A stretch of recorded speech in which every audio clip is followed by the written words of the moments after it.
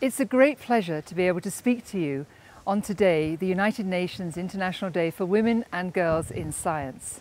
We should be celebrating, of course, because after much progress, we can see a vision in front of us for the Sustainable Development Goals, wherein not only are women totally present, but also their presence is noted in the sex disaggregated data and statistics that we will be collecting.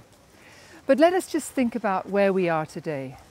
Yes, we can see that 45% of the employed people are women, but when we turn our attention to science and technology and engineering, we see that that drops to 24%.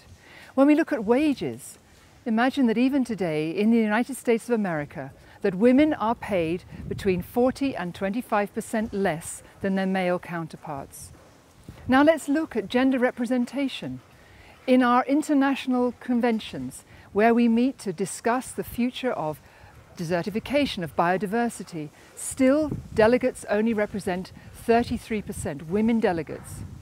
And so we go on and on through institutions where those countries that have the most foresight, who place women at the core of decision making, even there we can see that in higher education institutions, only 30% in a country such as Norway, but as low as 5% in some others.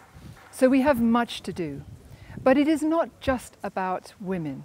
This is about an agenda of equality, of making certain that half of the world's population is heard and is heard in a place where decisions are made, where that thinking of what it takes to raise a family, to be able to bring science and technology into the everyday life has a view that is balanced. And so when we go forward and we think about science as a career, when we think about technology and engineering, the numbers really matter. We do seriously have to bring women into an understanding that science is not only achievable, is doable, but is a lifestyle which women can really live up to. So, gender parity is the first step. Gender equality is the second step.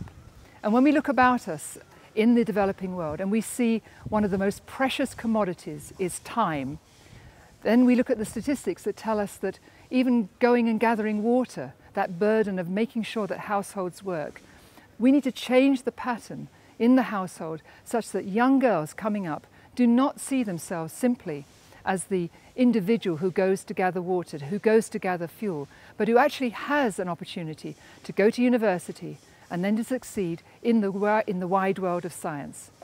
So I hope that we can commemorate this day, I hope we can celebrate this day and really look forward to a future where girls not only are present in the science curriculum, are actually participating in science universities, but turn out to be the leaders of the future with a good, strong scientific background in their decision making that will take us to a sustainable future. Thank you.